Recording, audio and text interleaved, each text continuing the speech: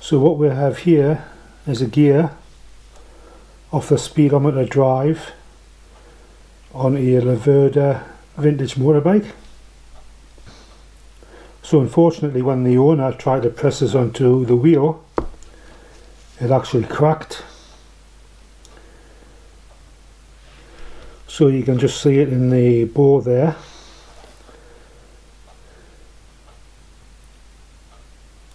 So I've been asked if I could do a repair.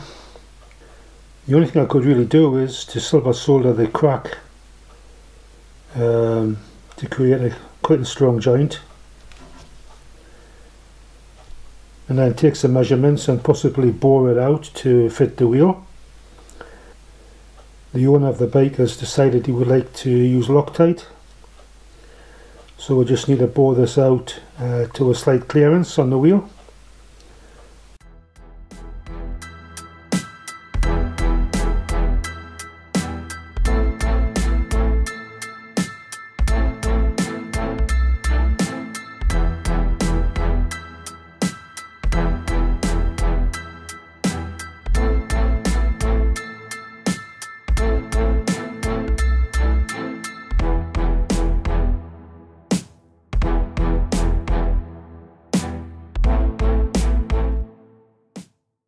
Mixed up a bit of flux to put on.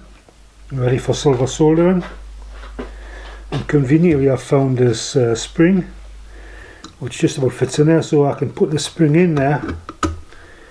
And it just opens up that gap a little bit.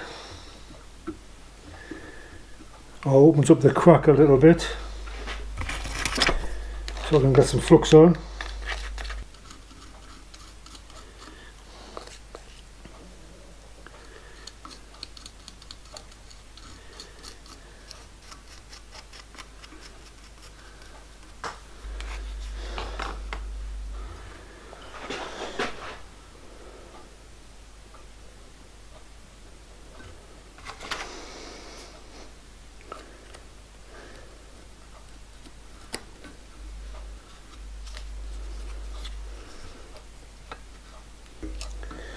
0.71 so 0.7 here so I've got a gap about 3 thou which is pretty good for the silver solder.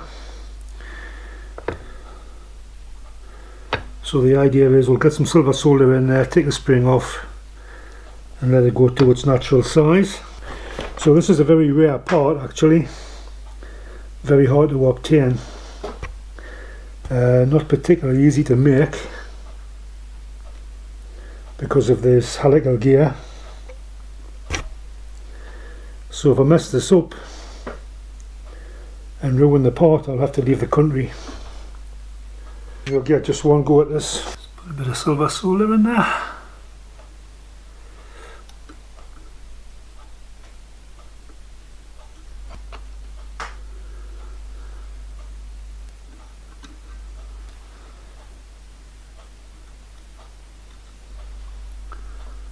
Okay, I think we're ready.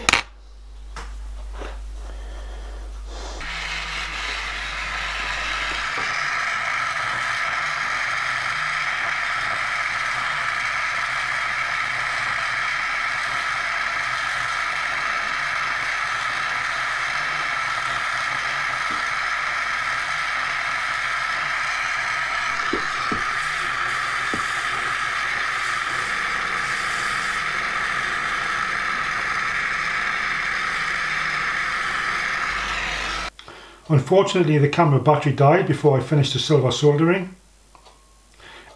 Anyway, once the silver solder was fully molten, I removed the spring to allow the crack to close up.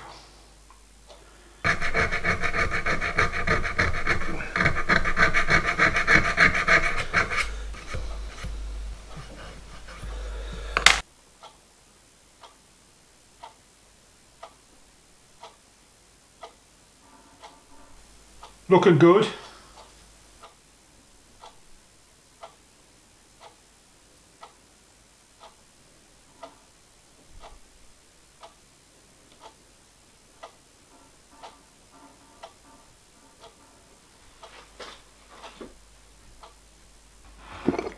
So I'm just waiting for the wheel to arrive so I can machine this to suit. It only needs three or four thou out of the bore. So in preparation I've made up a little fixture. Um, I've machined it undersized so I can put this in the lathe, machine it to get this to fit in just nice. I've put a screw in there to keep this apart when I clamp it in the chuck. So once I get that uh, machine to fit inside there I can release the screw and then tighten the chuck a bit more and clamp it in and hopefully that? Should keep it concentric? And I've cut off a bit of aluminium bar to make a plug gauge. So I'll machine this to the size required for the bore so I just need the wheel to arrive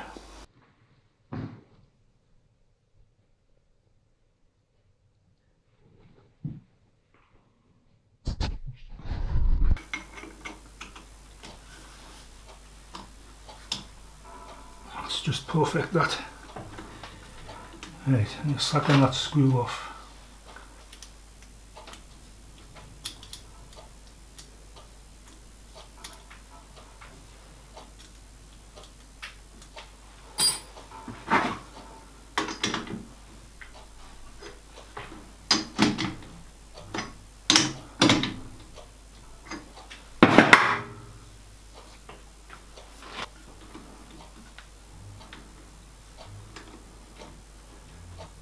Uh, it's running concentric within 0.03 which is a thou.